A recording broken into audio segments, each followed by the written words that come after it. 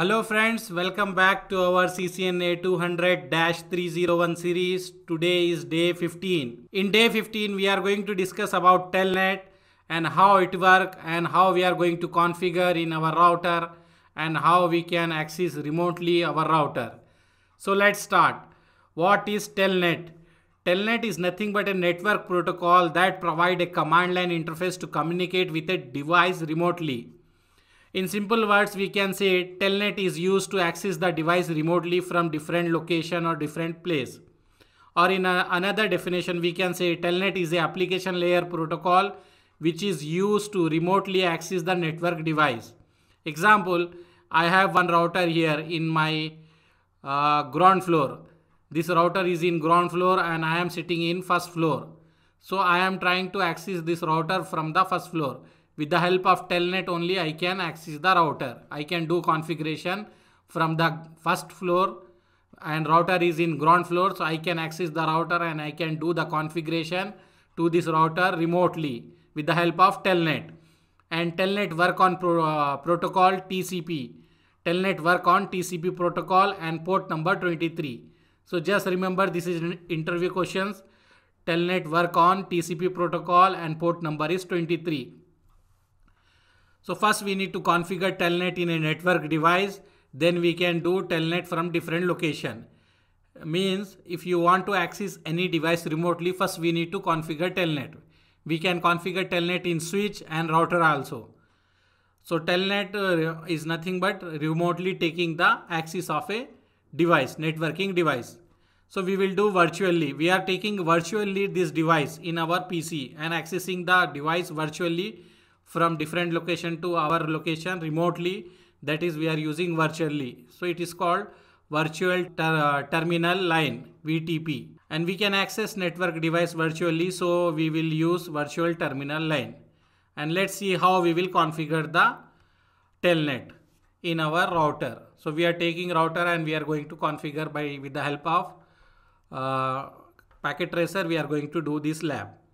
So here how we will do first we need to go in the global configuration mode. How we will go? We will type config t. Then we need to assign password. We are assigning enable password 1234 to enable any password to our router.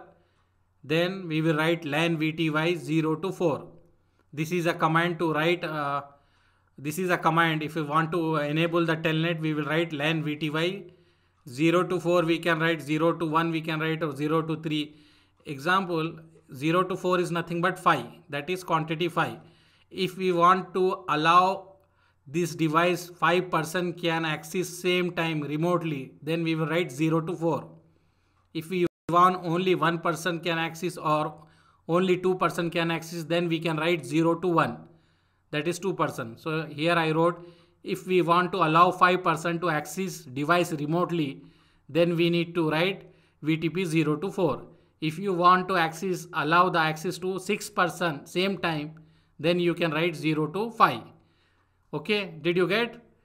So this is our first command. We will write this lan vty 0 to 4 then we need to write password. We can give any password and then we will type login. So this one is step 1 step 2 step 3 step 4 if we write this four steps then uh, telnet is configured in our router and we have another method also. We can give username and password also. Here we are not giving any username. Only password they will ask and we will log in. But we have one more method to do the telnet particularly guys. Example if we have three network engineer in our organization and we need to give them username and password for individually like x y z.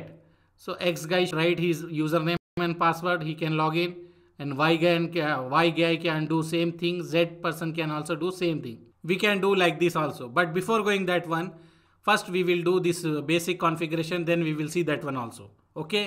So let me bring the packet tracer here. Then we are going to see that one how we will going to configure. So i will bring packet tracer here.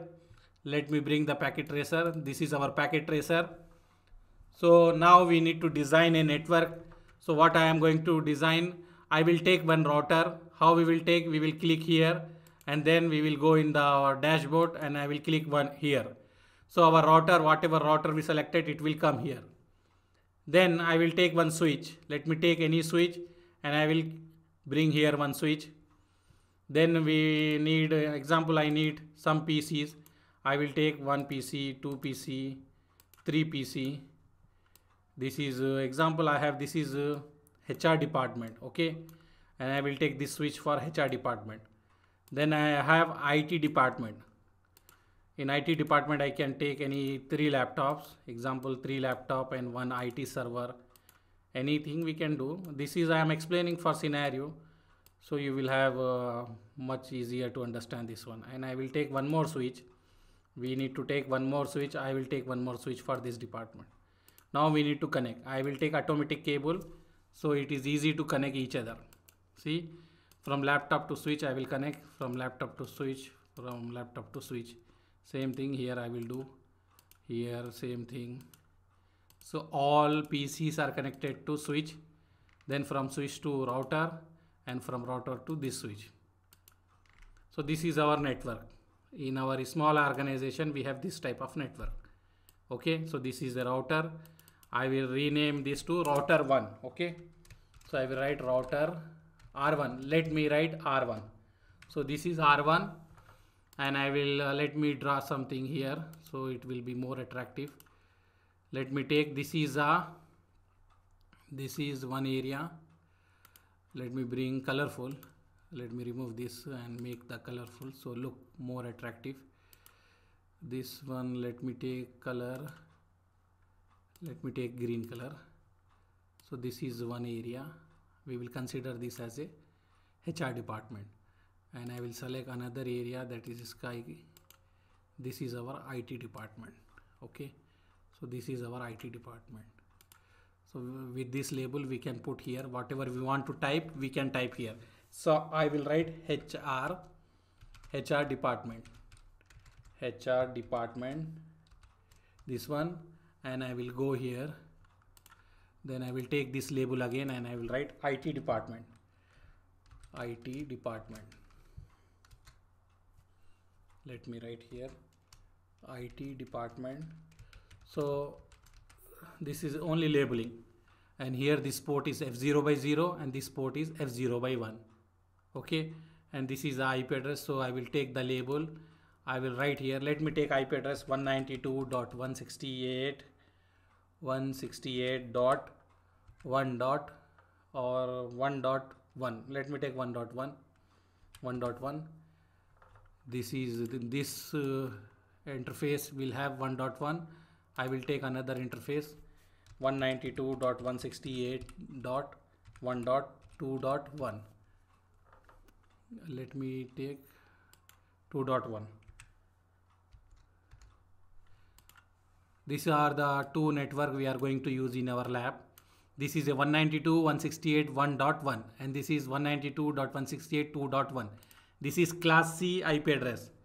I think you know already in our last video before we already discussed class C and class A, class B, all that one. So see, this is our uh, one interface IP and this is our other interface IP. So we are going to assign this IP in our this network and this IP in our this network. Then we are going to configure the telnet. So what I will do, I will assign here the same IP. Let me do here I will write down first I will rename this computer with the IP address and I am going to assign the IP address to the LAN card of this PC. So 192.168.1.1 so this should be 1.2 because gateway is 1.1 so I am copying this one. How we are going to assign the IP address to the laptop click this it will open then click configuration click configuration. Then you click desktop then uh, here you will assign. Then you need to write the gateway. What is gateway? 1.1 is the gateway. Gateway is nothing but the ip address of the uh, router interface. Then i will do for here this laptop.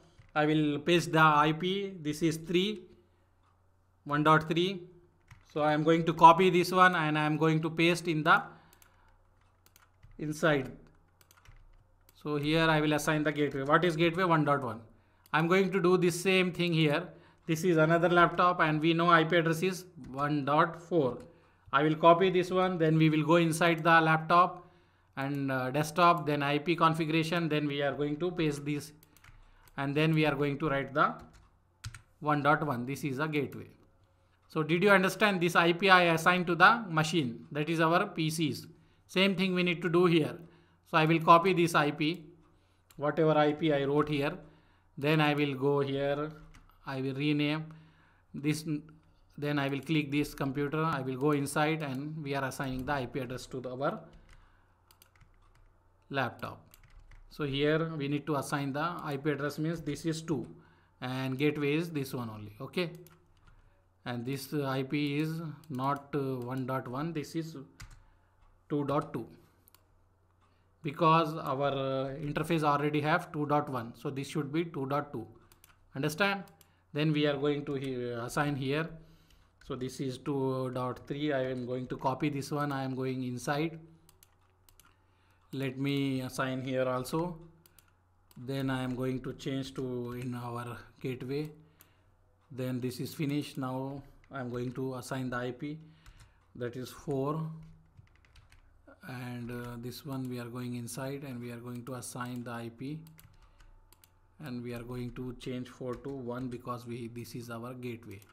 And server I am going to assign the IP that is 192.168.2.5 because we already used the 4 so till uh, now I'm going inside then I'm going to assign the IP address to this server also and I'm going to assign the gateway also so this is the basic configuration we done that we assign the IP address to the all computer here and here in HR department we assign and in IT department we assign already the IP address to the computer. Now we need to configure the router for this IP address and this IP address. Then we are going to configure the telnet. So let me bring the notepad. We will type the configuration in notepad. Then we are going to paste, copy paste in our router. So this is our notepad. I will keep here little smaller so we can see. So how we are going to write the configuration? Uh, easy. First we need to enable router. So I will write enable first we need to enable so we are going to write enable we write enable then I will write config t so we are inside the configuration then we are going to change the host name so I will write host name r1 then we we are going to interface I am going to interface int f0 by 0 f0 by 0 why f0 by 0 this interface is 0 by 0 so I am writing F0 by 0. Then we are going to assign the IP address to the router. So IP address, what is IP address? 192.168.1.1. We need to write subnet mask 255.255.255.0. Why this subnet mask? Because it is class C. So subnet mask will be 255.255.255.0. Then we will write no shut because all Cisco interface port will be shut down by default. So we need to write no shut. Then I will copy the same configuration, this one. Let me copy and paste here. Let me paste. Now we are doing the configuration for this F0 by 1. So I will write 0 by 1. So I will write 0 by 1. Then this IP will change. This IP is 2 by 2.1. So this IP change, same configuration. Did you understand or any confusion? We went enable, then we go to global configuration, we change the host name, then we went to interface and we assign the IP and we write no intro, no shut. Then we went to another interface F0 by 1, then we assigned the IP address, then we wrote no shut. With this one, we can uh, assign the IP address to this port and this port. So I will copy this. Let me copy and paste in the router. Okay. So how we are going to copy and paste? We can do two way. We can take our one laptop like this and we can connect with the console cable. I will take this is a console cable. I will connect to our laptop rs232 then we will go here and we will connect to console port so i am from it department i am here in the server room and i am having my laptop i connected my laptop to sir uh, router with the console cable then I will go in the software. We can use putty software to do that one. I will I will use here terminal. Then this is a by default setting. Just press OK. then you will access the router okay so i will maximize this window. So we are inside the router but we are inside the router for, via our laptop by using console cable. I will write no then here we are inside. Then we need to paste the configuration. I will paste the configuration. See we paste the configuration. This is enable. We are in the global configuration mode. Then we are in the interface and we change we assign the ip and we are in the another interface. We assign the ip so this one done. And then control z we can press and we are outside. We can write wr to save the configuration. And if you want to see whatever ip address we assign it is correct or not we will write show ip interface brief. See here for the fast ethernet 0 by 0 we assign 192.168.1.1 and this port is up here and protocol is also up.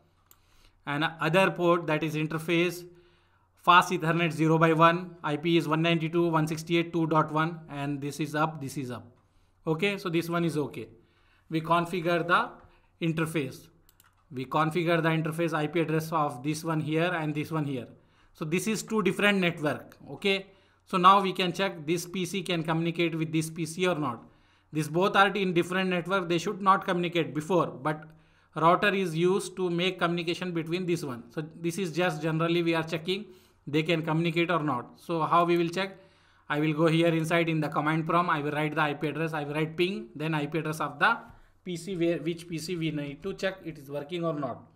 So so i will write 192.168.2.2 so i am writing this ip address 2.2 so it will take few seconds maybe when we will have one request timeout then it will come reply because arp arp we are going to discuss in next video or after that what is ARP also? So one is request timeout then it is working. Okay so reply is coming. So now we can say IT department can communicate with to HR department HR department can communicate to IT department even though they have different IP address different different network. This is uh, 1.2 this is 2.2 this 2 so now this is our basic now our main thing. We are going to configure now telnet so how we are going to configure telnet? So I will write the configuration. What we will see, we will first we need to enable password. So what we will do, we will go in the global configuration mode. So example, we are in the global configuration mode. Then we write enable password. We can give any password. I will write Cisco. Then we will write VTY LAN line VTY VTY 0 to 4 len vty 0 to 4 then we will write login. Then we will write login but before login we need to write password. So what i will write here? Password. Password we can give. This is our uh, telnet password. So i will give telnet password as 12345 okay? Then login. So this is only the configuration for our telnet this three step. We will enable password first. This is the basic we need to enable anywhere. Main configuration start from here. Lan vty 0 to 4 password 123 login. So let me copy this one and paste there okay? I will copy this configuration. Then i will go in the router. Here we are inside the router. I will go in the configuration mode. I need to go to the configuration mode. Then we are going to copy paste that conf configuration so see here we enable the password and we put that one. So this our work is finished. Now i will go out. I will exit this mode also. Now we are going to check if i want to go from uh, this mode to the another mode. It is asking me password. So what password we wrote? Cisco right? So i will write cisco. We wrote the cisco. We are inside the router. So this password is working. So now let me close this. This is my laptop I am accessing directly. But now I am here in the uh, third floor. This is in the ground floor. Server room is in ground floor. I am in the third floor. I want to access this server remotely. How I will access? Let me show you. I will go in the command prompt. Then we need to write telnet then IP address. What is IP? 192.168.2.1. Okay, 2.1. See here, it is asking username. Uh, it is asking user access verification. So we need to write the password. What password we given? See in our configuration file what password we wrote for the which one for uh, what password we wrote for telnet. So see here we wrote 1 2 3 4 5 so i will write 1 2 3 4 5 1 2 3 4 5 then we we are inside. See we are inside the router if I want to change the mode then I write enable then they will ask the password. So what is that password? That is Cisco. So now we are inside. So what I can do I can go in the global configuration mode. I can go to interface F0 by 0 or any interface. Anything I can do anything. Okay?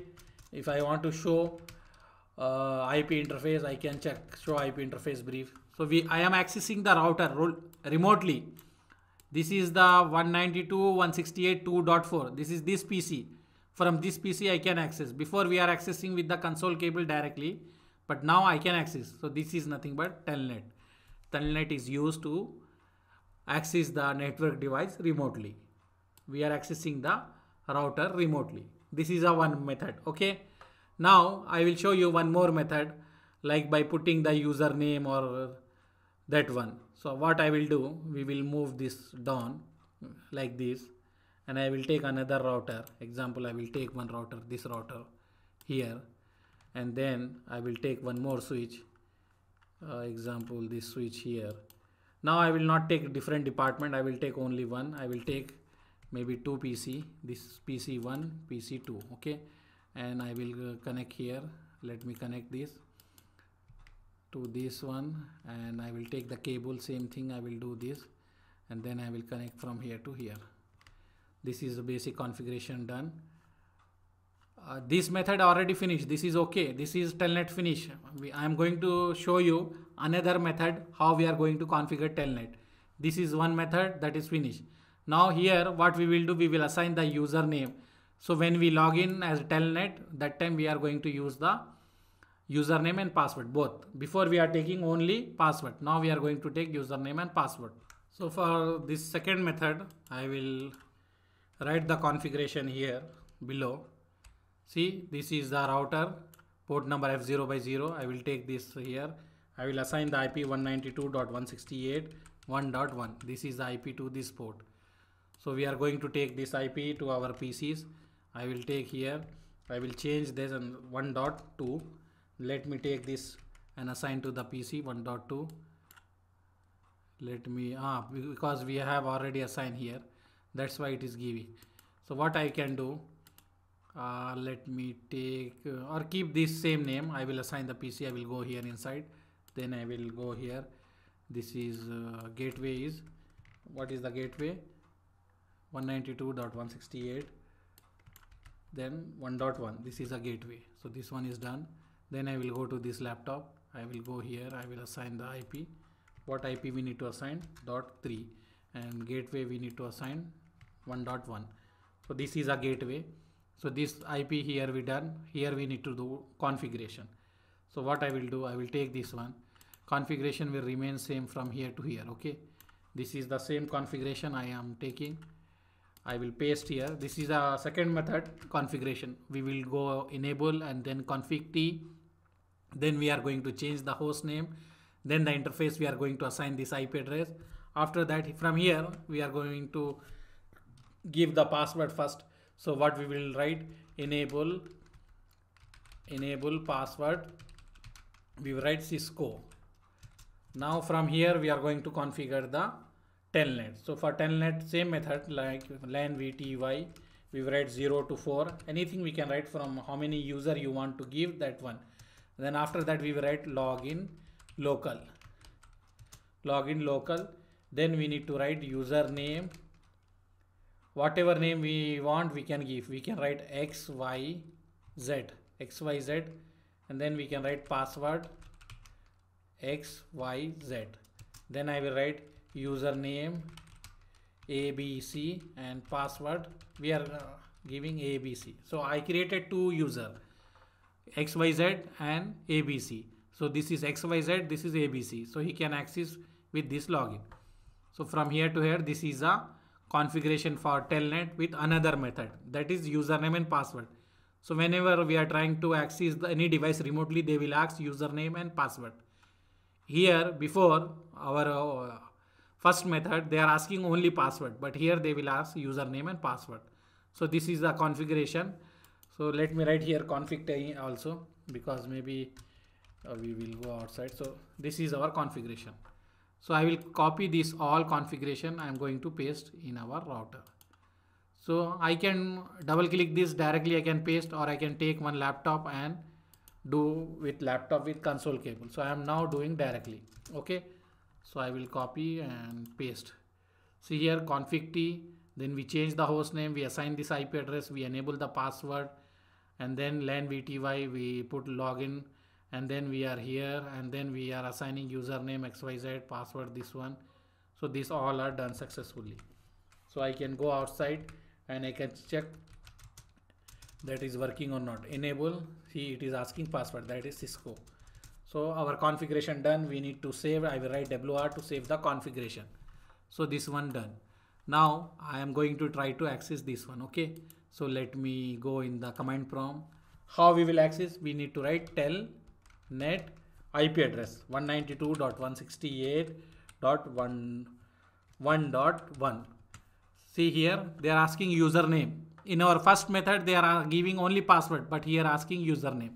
I will write ABC, enter, then a password. Then I will write ABC, enter, again password. Password, then we are inside the router. So if I want to go to another mode, I write en then they are asking me password. What we wrote we wrote cisco. So now we are inside the router. Did you understand? But here we have users. Now i will go exit. I will exit this one. Let me so see here i am here with the user abc so i will exit or i, keep, I will keep this like this. Then i will use another pc this one. I will try to log in here okay? So i will do telnet that is 192.168.1.1 see here we are here. Uh, again it is asking username. I write xyz and then same thing xyz so we are inside. So we can access the this one also. What password we give? We give uh, cisco. So we are inside the router. So this user is inside. This user is inside. We are here. We can uh, we can see here show user. By using show user we can check how many users are accessing the router remotely. When I wrote show user see here it is showing how many user. Let me check here. Here it is showing two user. This is uh, ABC this two. VT, VTY0 is using by user ABC that is ideal and it is giving time when it is uh, started. That is uh, IP address also from which machine I access. And another one is VT1 that is username. And it is giving me the time duration and it is giving me the IP address for that machine. Okay? So with this we can check also. Let me now I, I am going to disconnect this one. So let me uh, we already access here so we are here. I will exit this one. Let me exit. So now we exit this okay? We exit this one. Then i will go inside router and we will check again. Show. We will check again. Show user. See here. It is showing me only one user. The user which is already before we have two user xy and ab now xy is out. Only ab is in so AB, ABC user is accessing this router via telnet from 3 minute 20 second from this location. This is IP address. Did you understand? Let me show you here. This is a user. Which user? This is ABC. So ABC is still using. ABC is still using the router. So when we check here, it is showing ABC. ABC showing ABC still using from the this time. Okay because just now we press 1 2 3 something we press so it is showing the from 4 second it is again starting working on this one. If I go here and if I exit this let me exit this mode also. So I exit the this mode. So now we will go in the router and I am going to write the command show user. See no user. Now no user. No one is connected okay. So before we have two user here and after that we have one user then no user because no one is connected. So we can check like this also. How many guys are accessing our router? We can check like that also. Okay. Did you understand? This is a just basic. Don't worry if you did, did not understand. This is a basic configuration how we do. This is first configuration. We can configure telnet like this as well as like this. If we do with first method it will ask only password. If we do second method it will ask username and password. If we have to employ with name xyz abc we can create like this and we can give them. Okay? So these are the two method we done the telnet. Our lab is successful done. And uh, if i show you the nodes these nodes here is the nodes so this is our telnet basic node remember this work on the port 23 and tcp protocol it use. Okay so thank you very much for seeing our video. Try to like our video share our video and subscribe to our channel. And if you need this configuration file and if you need the packet tracer file uh, comment me or join our whatsapp group. In whatsapp group i am going to share all this one okay? Thank you very much. See you. Bye